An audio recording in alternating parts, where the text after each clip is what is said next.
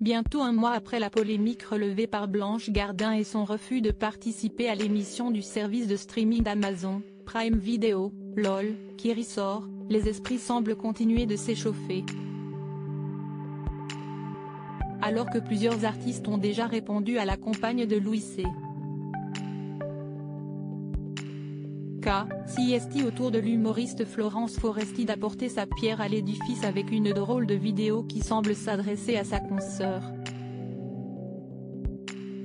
Dans la vidéo publiée ce mardi 9 mai sur Instagram, on peut voir Albert, le chien de Florence Foresti, se déchaîner sur un carton de livraison d'Amazon, tandis que sa maîtresse est alors inspirée pour une conversation imaginaire, « Tu es très fâché contre Amazon ».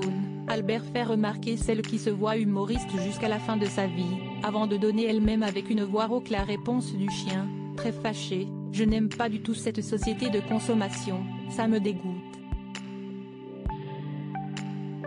Oui mais parfois on en a besoin répond alors la mère de Tony.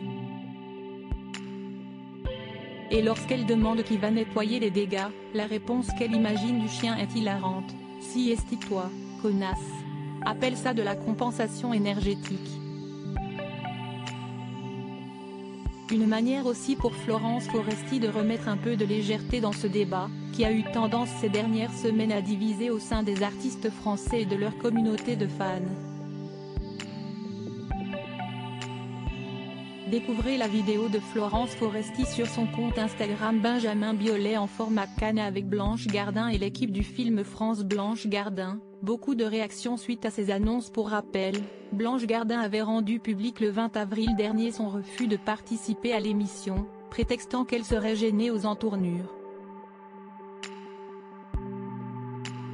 D'être payée 200 000 euros pour une journée de travail quand l'association qu'elle défendrait dans ce cadre en toucherait 4 fois moins et seulement en cas de victoire. Une prise de position qui aurait refroidi deux actrices à l'idée de participer aux jeux télévisés. Mais pour d'autres, Blanche Gardin s'est arrangée avec la vérité. Si certains, sous couvert d'anonymat, ont parlé d'un coup de pète de la part de l'humoriste, Ahmed Silla, ex-participant de l'émission, lui, a tenu à remettre les points sur les i, sans pour autant critiquer la comédienne. Enfin, Fabrice Eboué qui a reconnu être ami avec Blanche Gardin a, de son côté, admis partager la position de l'humoriste mais pas pour les mêmes raisons. À la suite du communiqué de Blanche Gardin, la société Amazon a répondu mais n'a ni infirmé, ni confirmé ses dires sur le cachet proposé. Crédit photo, Jacobi de bord.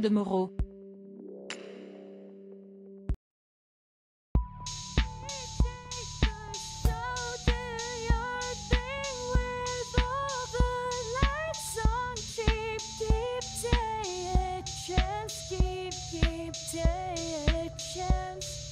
You